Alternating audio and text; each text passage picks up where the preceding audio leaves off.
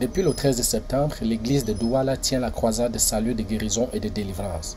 Sur les dix jours prévus, le bilan des cinq premiers jours du ministère que les pasteurs missionnaires Boniface Meignet et Michael Nissomé continuent de rendre ici en Doximbi au sein du rôle de la CMCI est le suivant.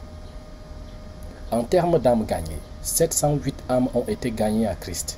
L'effectif de participation le plus élevé est celui du premier jour avec 2675 personnes. Les statistiques des invités s'élèvent à 225 invités qui ont répondu présents depuis le premier jour à la croisade. Le deuxième jour, quant à lui, est celui qui a le plus grand nombre d'enfants présents avec 569 enfants.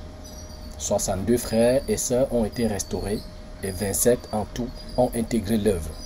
149 délivrances ont été opérées et 113 personnes ont été guéries. 199 démons chassés ont été comptés à compter du troisième jour. Au sujet de la page imprimée, 1220 livres de trois auteurs ont été vendus. Chaque jour, Dieu accomplit des prodiges et des miracles.